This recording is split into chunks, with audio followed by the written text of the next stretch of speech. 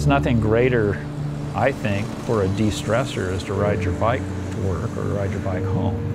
It's a great way to, to shed some stress. So, not to mention keep you healthier and so on. So, to create an incentive out of that, we created a program to essentially pay you in cafe credits to ride your bike to work and back. And if you did that in a day's time, uh, that was worth uh, a simple meal in the cafe, bowl of soup and a chunk of bread. Um, so there again, the cafe comes in handy to be able to, to use this as part of the incentive program to get people to ride their bikes to work.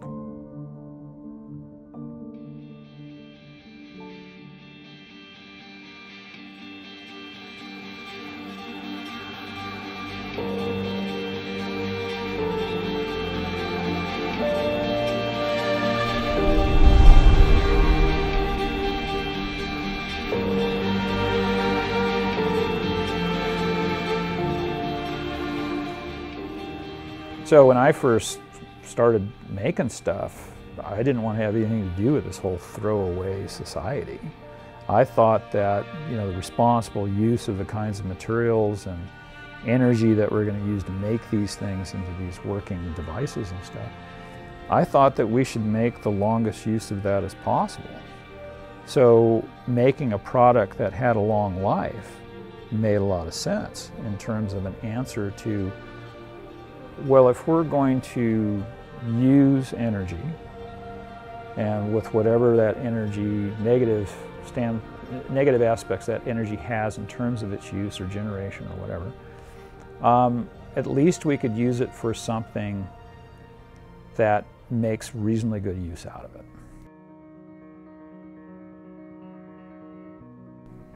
Okay, so where do we start? Ask the question. Why do we make things here or make things ourselves as opposed to outsourcing or contracting out? Uh, there's a couple uh, considerable reasons for doing that.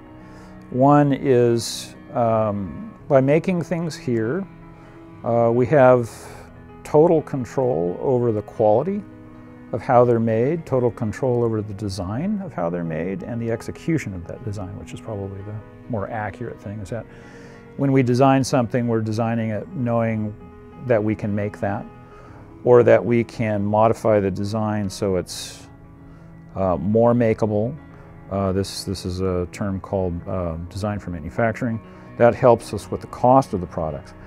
Um, the other main reason that we make things here is that we can also control the processes to the point where we do as much environmental environmentally conscious manufacturing as we can. That's having to do with uh, one, how we set up and run the machines, but two, all of the things that we use in conjunction with manufacturing, the supplies like oil supplies and things like that, cleaning stuff, so on. And then, of course, the recycling of the, of the scrap materials that are generated during the manufacturing process. We think that's really important, um, especially like an example, knowing that the scrap is actually getting recycled. Now, I think, I think the, the average person would be quite surprised if they could actually see the depth, whether it's here or it's a factory in China, the depth of what goes into making something. Now, it's a lot of choices along the way, from tooling to design to manufacturing process or equipment is a huge amount of decisions. And every one of those decisions, you could either make it without any consciousness towards the environment or with consciousness, right? We have that opportunity to make all those with, right, as much as we can.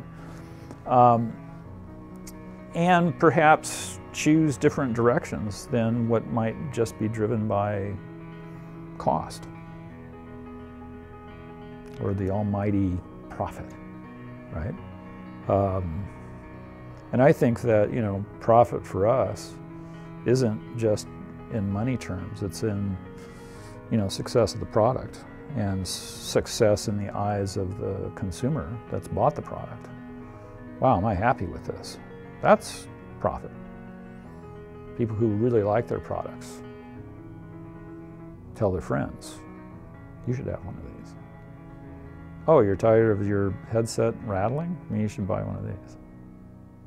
There's been a lot of that over the years, which has been really cool.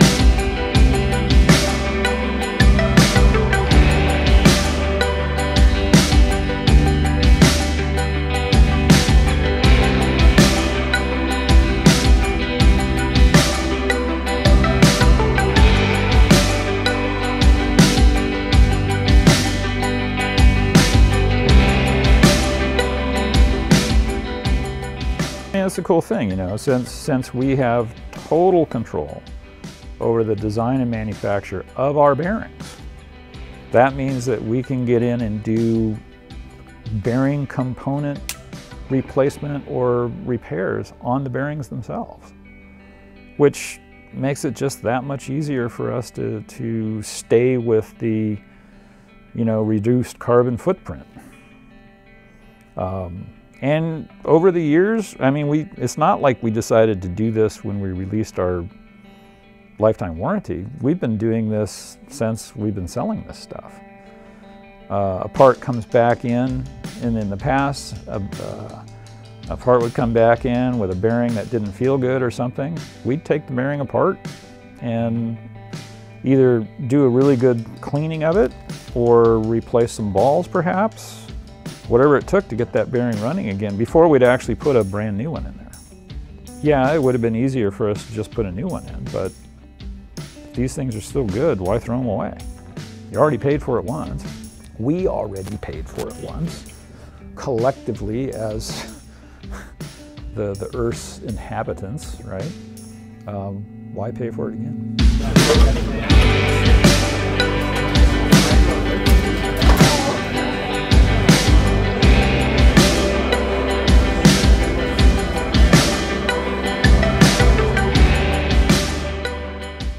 But I think that, that that concept, if you think about consumerism, um, things that are designed to have a particular life that's just at that point that people accept that you can throw it away and replace it, uh, that people are doing that because now I get an opportunity to sell another one.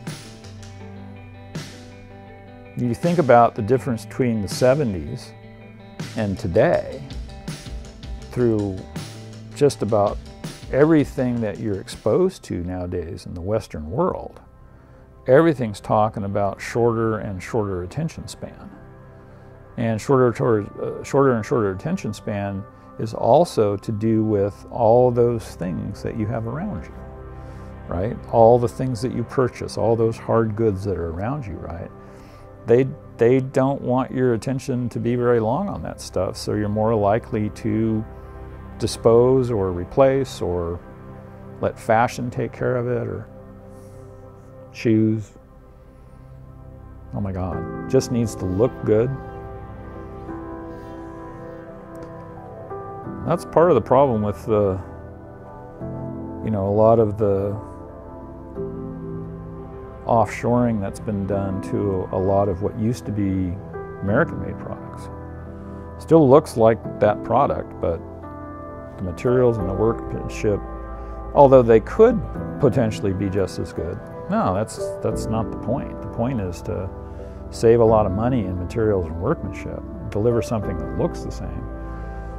But since you're probably not going to pay attention to it, if it wears out sooner, all the better.